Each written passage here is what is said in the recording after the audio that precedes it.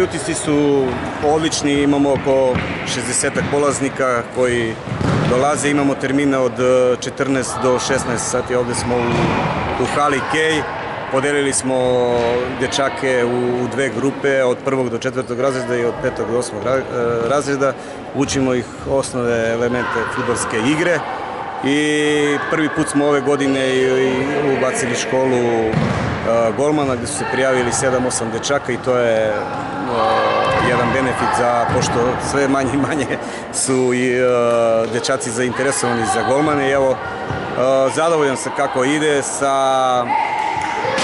od trenera radim ja Milan Tošić, Bojan Dojkić, inače kapiten Radničku još je igrač, Bojan Božić sa golmanima i Mihajlo Marinković je trener, oni su inače i treneri u predpecliće, Bojan Dojkić i Mihajlo i deca mogu kod njih da se upišu ako žele da nastave. Ima puno novih članova koji nadam se da će nastaviti u našoj školi da radi.